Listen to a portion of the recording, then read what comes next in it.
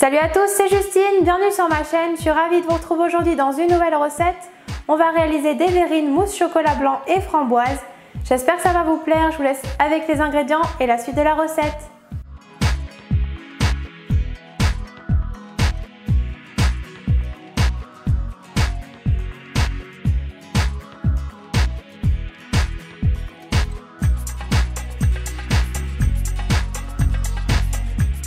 Commence par faire ramollir la gélatine dans un bol d'eau froide, puis on fait fondre le chocolat au micro-ondes en remuant régulièrement. On réserve le chocolat dans un saladier, puis on verse le lait dans une casserole et on porte à ébullition. Arrivé à ébullition, on retire la casserole du feu et on incorpore la gélatine égouttée. On mélange bien. On verse un tiers du lait chaud sur le chocolat fondu et on remue énergiquement et on incorpore le deuxième et le troisième tiers de lait de la même manière.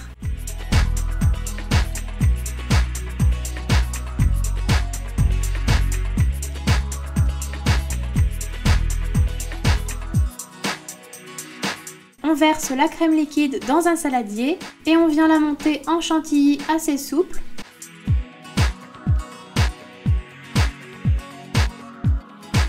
On ajoute ensuite l'arôme de rose et on fouette à nouveau. On incorpore enfin la chantilly à la préparation au chocolat blanc et on mélange bien.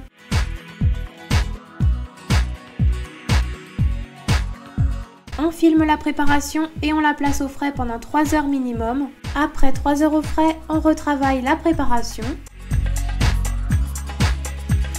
Et on la place dans une poche à douille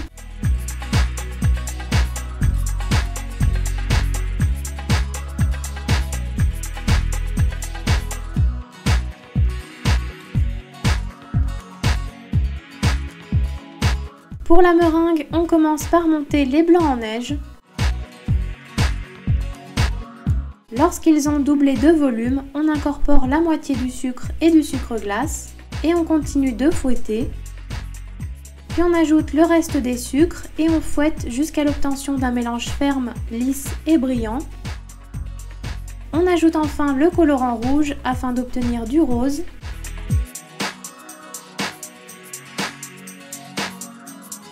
puis on réserve la meringue dans une poche à douille. On réalise ensuite des lignes de meringue sur une plaque recouverte de papier sulfurisé.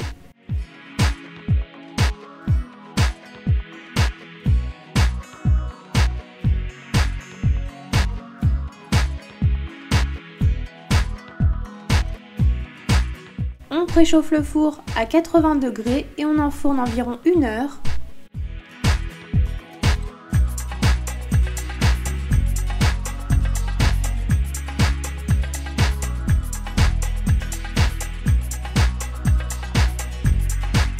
À la sortie du four, on laisse refroidir et on vient couper des petits bâtonnets.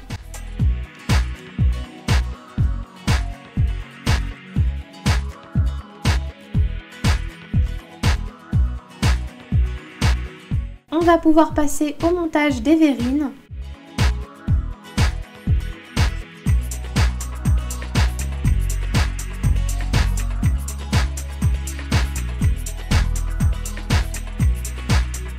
On commence par répartir la confiture dans le fond des verrines.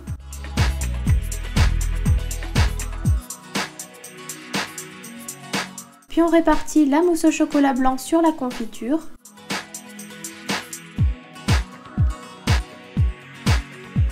On tasse légèrement avec une cuillère.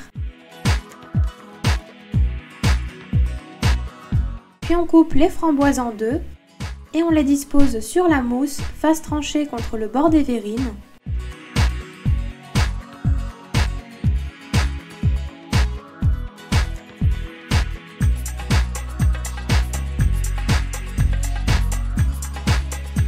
On décore enfin avec les bâtonnets de meringue.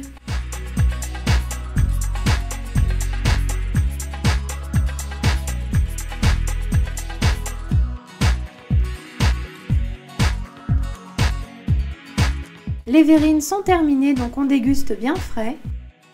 J'espère que cette recette vous aura plu.